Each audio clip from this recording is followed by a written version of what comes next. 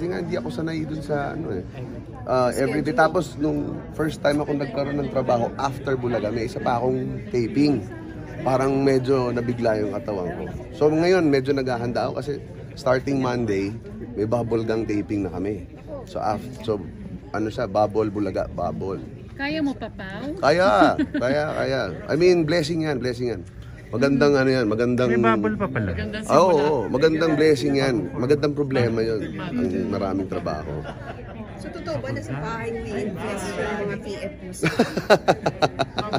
yun ang yun ikinukulit ni ano ni Nailo. Siyempre, alam mo maraming bagay na ano um bag. Siyempre, una sa lahat kailangan maging stable muna lahat ng ng trabaho when it comes to Bulaga, di ba?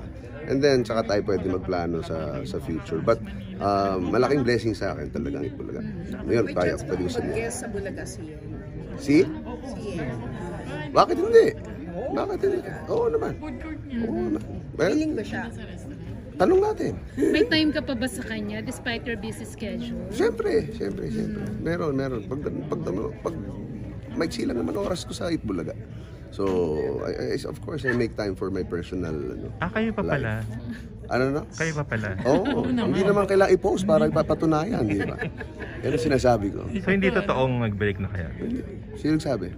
Sabi. Sino Si Alan naman. Sino nagsabi? Sabi mo? Pero gano'n siya ka-understanding sa time mo ngayon, Pao? Yung sa Very, very, very, very. Anong, ano, masaya siya dun sa konsepto ng blessing na to. And of course, it, she has her own time also for her personal things na ginagawa niya. And, and hindi namin pinapa, hindi na namin inaano yung kumbaga pagdating sa trabaho. ah, open, very open naman yung usapan sa Babalik na ba siya sa showbiz? May comeback Tanong niyo siya. talaga. Ikaw, kung ikaw tatanong, Ano no? okay sa'yo. Bakit hindi? Bakit, bakit, bakit hindi pa pwede? Pero hindi na siya pwedeng magpa-sexy. Ano no?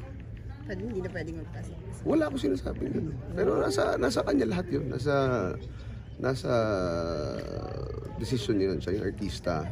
I will never uh, make pakialam sa kanyang uh, trabaho. Oo, pero kung should she decide to have her own restrictions, that's her, that's on her.